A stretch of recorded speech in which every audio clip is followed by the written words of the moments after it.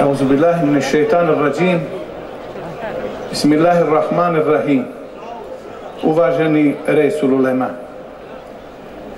čestiti mufti Efendija, uvaženi glavni imami, poštovana potpredsjednice Federacije, dragi naši gosti, musafiri, braćo i sestre, selamu alaikum.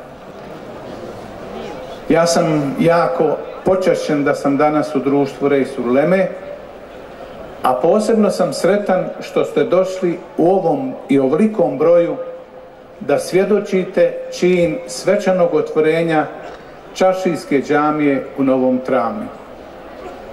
Nemojte zaboraviti da vi danas vidite finalni učinak vjernika Novog Travnika. Do ovog projekta bilo je dosta uspona i padova. Bilo je dosta zamora, umora i radosti. No kad vjernik čini nešto u ime Allaha, onda neće biti sam i neće biti ostavljen. Zato mi je posebno drago da su danas naša braća iz Republike Turske i Kuvajta s vama ovdje na ovom činu. Ovo je pobjeda dobra. A novi travnik je bio u iskušenju. Živjeli smo zajedno s njima.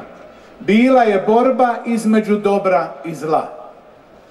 Nekada čovjek posusta pa misli da će nadvladati zlo. Kao što je danas život na ovoj planeti učinjen negativnom pojavom. A život je po Kur'anu radost i odgovornost. I vi svjedočite danas odgovornost vjernika novog travnika koji su vrlo odvažno, hrabro i odgovorno pozvali vas da svjedočite i da vam pokažu ono što su učinili u ime Allaha. Pored džamije i centra, oni ovdje udišu slobodu za koju su dali živote novog travnika. Naši šehidi su pomogli, zaštitili ovaj grad i očuvali da se ovdje sagradi džamija. U tom kontekstu vaš dolazak nije samo dolazak puki ili slučajni, nego to je blagoslovljeni dolazak na mjesto gdje se sagradila džamija, a vi znate da džamije Allah Đelešanuhu određuje gdje će se graditi, ko će ih graditi i ko će ih posjećivati. I moji predodnici su o tome vrlo važno i odvažno govorili. Braćo i sestre, današnja radost je ovdje ispunjena što vidimo naše starije dede, nene i majke, ali isto tako vidimo našu mladost koja preuzima nit od naših starijih. Tamo gdje se ne ulaže u omladinu, tamo gdje se ne poštuju stariji, tamo gdje se ne vjeruje Bog, nema bereketa. Danas u Novom Travniku, zato što ste vi ovdje, zato što se džamija otvara i zato što Allah spušta svoju milost, ima bereket i mi činimo dovu za stanovnike ovog grada, za njihova iskušenja. Zato budimo sretni što imamo slobodu i budimo ponosni ako nas Allah Đelešanu iskuša da pružimo pomoć, utočište ili da obrišemo suzu koja teče niz lice, a ona je suza bola, ona je suza izgubljenosti. Da pominujemo je tima čija podrška je potrebna od sviju nas. U tom kretanju život smjenjuje generacije. Oni koji su sanjali da će biti džamija u Novom Travniku, dosanjali su.